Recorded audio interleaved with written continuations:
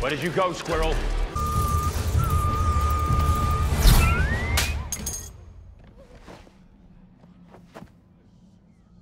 Who threw this thing at me? Shut up. Baby. Oh, my poor baby. It hurts. Adam. Adam. Yes, mother.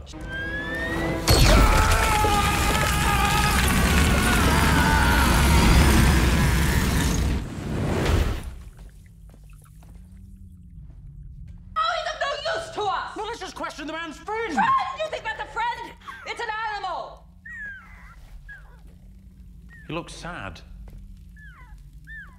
I really don't enjoy how that's making me feel, actually. Doesn't belong here.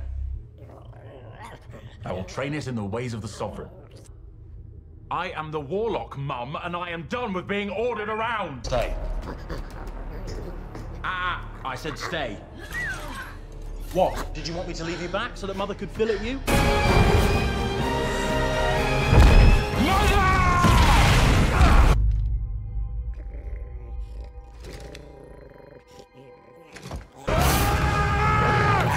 One more step and this weird thing gets it! Don't be rash.